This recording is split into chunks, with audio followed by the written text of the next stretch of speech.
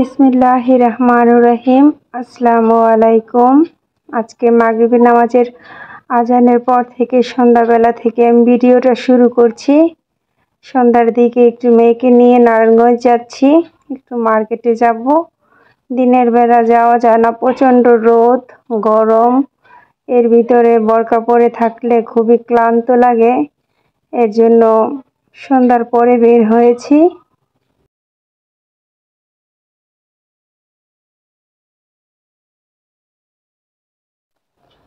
কেন আসলাম সেটাই তো এখনও বলা হলো না। এসেছি আমার জন্য কয়েকটা সুতি পাতলার ভিতরে থ্রি পিস নেব। বাসায় কিছু কিছু ড্রেস আছে যেগুলো এখন এই গরমে পরা যাচ্ছে না। হালকা কাজ করা বা হালকা একটু ভারী ওইসব কাপড় চোপড়গুলো পরতে খুবই কষ্ট হচ্ছে।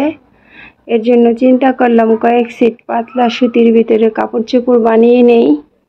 এর জন্য এই আসা নারায়ণগঞ্জে।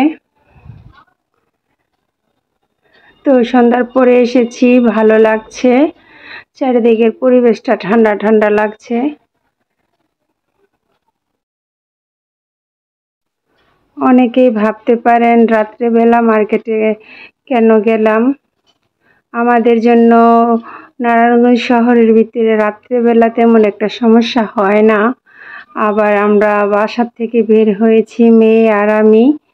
আর অর্ধেক রাস্তা এসেছি পরে, চাষারা এসেছি পরে। আমাদের বাচ্চারা আব্বুর সাথে জয়েন্ট হয়েছে। তো দেরি হলেও সমস্যা নেই, একসাথে কেনাকাটা করে তারপরে বাসায় চলে যাব।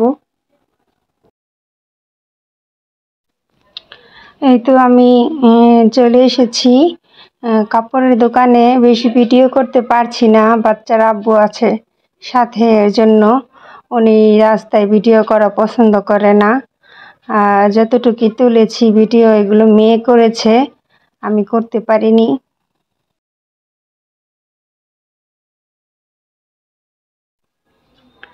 যেহেতু সাথে উনি আছে, তো বেশি ঘোরাঘুরি করতে দিবে না। দুই একটা দোকান থেকে নিয়ে নিতে হবে।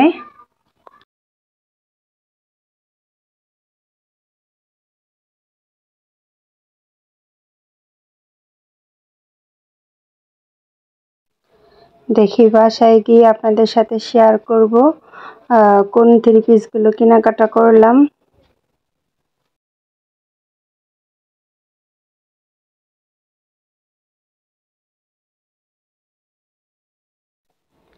তো বাসায় চলে এসেছি। বাসায় আসার সময় আমার ছেলের বড় ছেলের পছন্দের লাড়ু নিয়ে এসেছি, ও এটা পছন্দ করে খুবই। তো এখন আমি একটু ফ্রেশ হয়ে তারপর আপনাদেরকে দেখাবো আমি কোন থ্রি পিসগুলো এনেছি।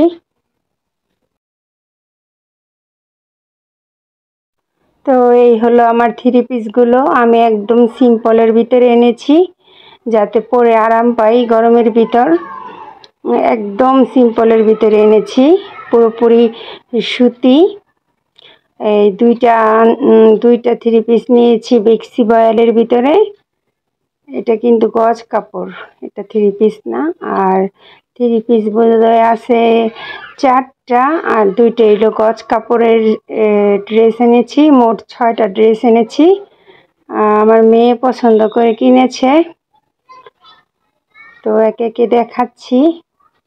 আর সবার লাস্টে আমি এই ড্রেসটা নিয়েছি। এটার কাপড়টা এত সফট এটা বেক্সি বয়াল।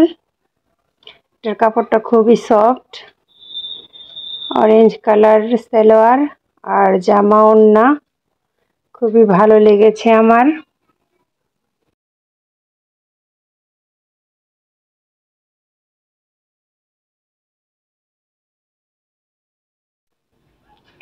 এটাও বাটিক থ্রি পিস না, এটাও গজ কাপড়, এটাও বেক্সি বয়াল, এটাও আমাতে খুব ভালো লেগেছে। কাপড়টা অনেক পাতলা, গরমে পরলে ভালো লাগবে। আমি আজকে এগুলো বানাতে দিতে পারলাম না, কালকেই বানাতে দিয়ে দেব। এটা একটা থ্রি পিস, এটা এটাও বাটিকের ছাপা, কিন্তু কাপড়টা অরবিন্দু। অরবিন্দু কাপড় কাপড়টা অনেক নরম। এটা ওই বাটিক থ্রি পিসের মতো না, এটা গজ কাপড়ের থ্রি পিস। কাপড়টা আমাদের খুব ভালো লেগেছে। এটা রং উঠবে না বলেছে। বাটিকের তো রং ওঠে। একটা বাটিকের থ্রি পিস নিয়েছি আমি। আর এগুলো গজ কাপড়ের, কিন্তু পরে আরাম লাগবে পাতলা। এটা ওড়নাটা অনেক সুন্দর। ওড়নাটা অনেক বড়।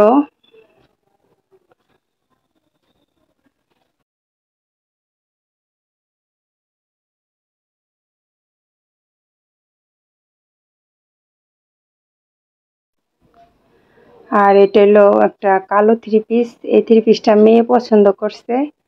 মেয়ে বলতেছে, আম্মু, কালো একটা নেও আমাকে গরমের ভিতরে কালো পরলে আরও বেশি গরম লাগে?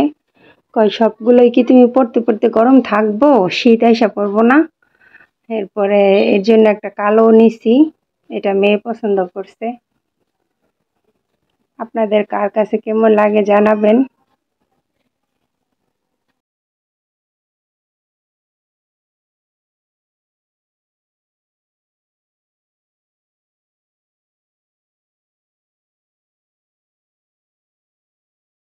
আমি বেশিরভাগ সময় গজ কাপড়ের থ্রি পিসি পরতে বেশি আরামদায়ক মনে করি আর স্বাচ্ছন্দ্য বোধ করি, কারণ আমি যেহেতু একটু হেলদি মানুষ গজ কাপড় কিনলে আমি একটু বাড়িয়ে কিনতে পারি।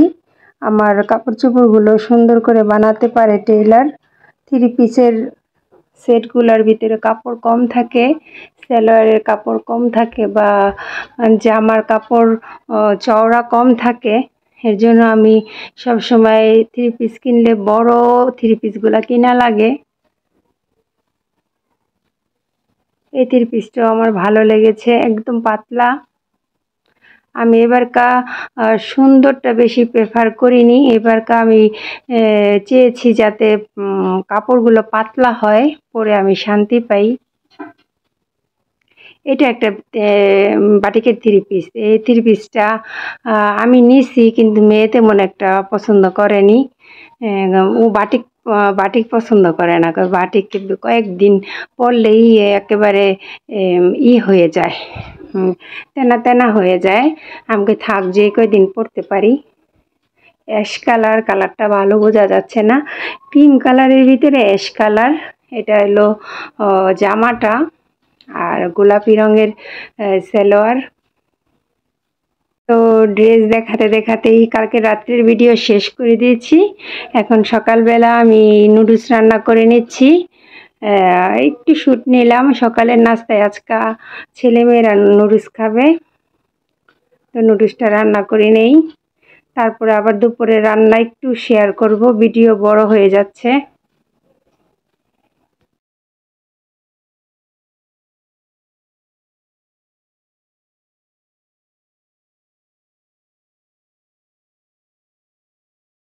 তো চলে এলাম দুপুরে রান্নায়।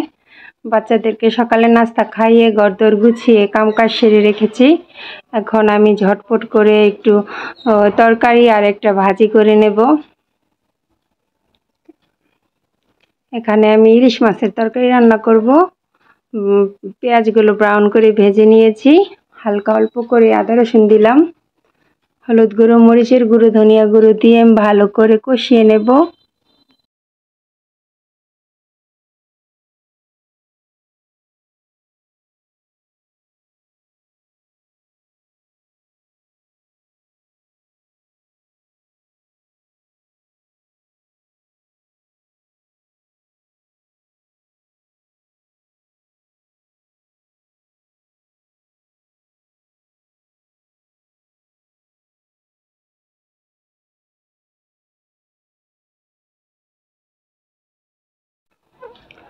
মশলাটা ভালো করে আমি কষিয়ে নিয়েছি। এখন ইলিশ মাছগুলো দিয়ে দেব। দিয়ে তারপরে মাছটা কষিয়ে উঠিয়ে রাখব। আলু পটল দিয়ে রান্না করব।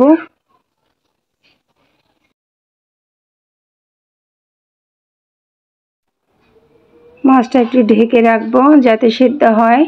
ভালো মতো মশলাগুলো যাতে মাছের মাছের ভিতরে ঢুকে।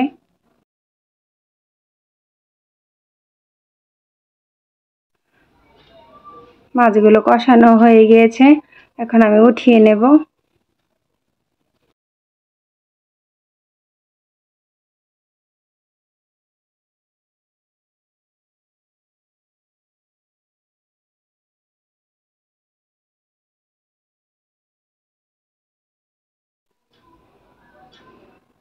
আমি মশলায় আলু পটলগুলো দিয়ে দিলাম। আলু পটলগুলো ভালো করে কষিয়ে তারপর একটু ঝোলের পানি অ্যাড করে নেব। মাঝে মাঝে সব কিছু কষিয়ে রান্না করতে ভালো লাগে। সব সময় যে ভাজাভাজি করে রান্নবো এমন কোনো কথা নেই। এক এক দিন এক এক রকমভাবে রান্না করি।